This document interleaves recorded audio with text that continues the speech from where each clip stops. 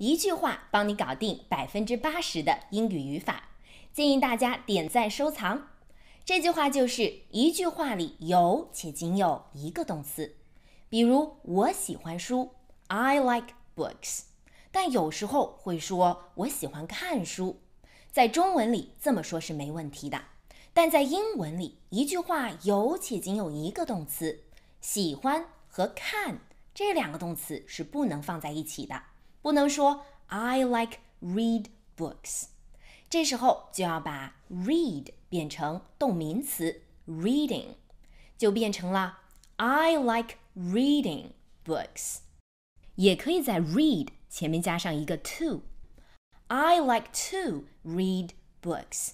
这就是动词不定式，你都学会了吗？学会了，给老师一颗小心心吧。对英语学习还有问题的，来我直播间帮你彻底搞清楚。Don't 和 didn't 都表示否定，那它们有什么区别呢？今天一个视频教你秒懂。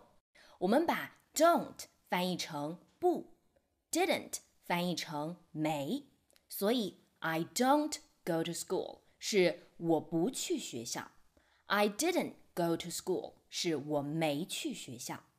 I don't eat，我不吃饭。I didn't eat，我没吃饭。I don't sleep，我不睡觉。I didn't sleep，我没睡觉。为什么会这样呢？因为 don't 是一般现在时，表示平时也不做，所以 don't 就理解成不做这件事儿。而 didn't 是一般过去式，表示过去没有做，现在做不做不一定，所以可以理解成没有做这件事儿。你都学会了吗？学会了，给老师一颗小心心吧。